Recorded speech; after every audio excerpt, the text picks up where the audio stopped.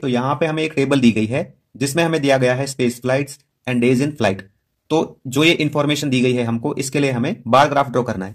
तो देखिए यहाँ पे मैंने ड्रॉ कर ली है हॉरिजॉन्टल एक्सिस और वर्टिकल एक्सिस तो हॉरिजॉन्टल एक्सिस के अलोंग मैंने राइट किया है स्पेस फ़्लाइट और वर्टिकल एक्सिस के अलोंग मैंने राइट किया है डेज़ इन फ़्लाइट तो मैंने यहाँ पे सभी में वन वन का गैप लिया है, ठीक है? तो मैं देखता हूँ अपोलो एट के लिए है यहाँ पे सिक्स तो यहाँ पे देखेंगे अपोलो एट के लिए सिक्स है, ठीक है? तो मैं इसके लिए यहाँ पे एक लाइन खींच दूँगा। तो लाइन ड्रॉ कर लेते हैं यहाँ पे। एक ये लाइन हो जाएगी यहाँ पे और एक यहाँ पे ये लाइन हो जाएगी, ठीक है? इसको क्लोज कर देंगे तो ये एक रेक्टेंगुलर बार बनेगी किसके लिए? अपोलो एट के लिए। तो राइट करते हैं यहाँ पे। अपोलो एट इसके बाद अपोलो नाइन के लिए यहाँ पे है टेन तो उतना ही गैप देंगे, ठीक है ना? वन बॉक्स का जितना यहाँ पे हमने लिया है, उतना यहाँ पे लेंगे। तो अपोलो नाइन के लिए यहाँ पे टेन तो टेन कहा यहाँ पे? ये रहा, ठीक है? तो लाइन खींच लेते हैं इसके लिए। तो एक लाइन ये खींची हमने और फिर मैं दूसरी लाइन खींचता हूँ यहाँ पे। तो ये दूसरी लाइन है।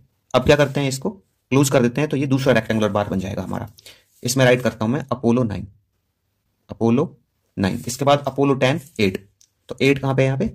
ये एट के लिए होंगे, ठीक है? तो इसके लिए मैं लाइन खींच लेता हूँ, जिससे कि मैं रेक्टेंगुलर बार बना सकूँ यहाँ पे। तो ये वन वन लाइन ये सेकंड लाइन इसके लिए। अब यहाँ पे इसको क्लोज कर देते हैं, जिससे कि रेक्टेंगुलर बार बन सके। तो यहाँ पे मैं राइट करता हूँ अपोलो